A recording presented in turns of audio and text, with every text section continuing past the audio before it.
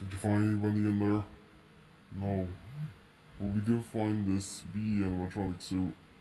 I think there was nobody inside it, so... No, nobody was in there. Alright. Let's continue on our trail. Alright. Let's go.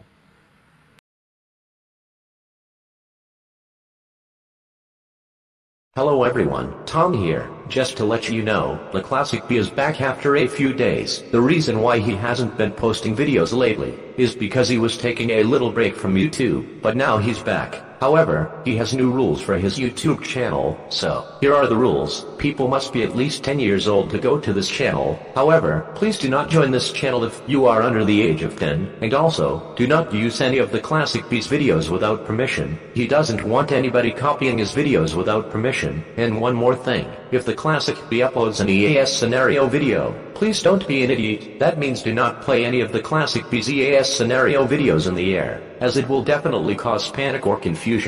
And, you will be arrested, or get a $100,000 fine. But anyways, me and the Classic Bee wish you all a good day. Goodbye for now, this is Tom, signing off.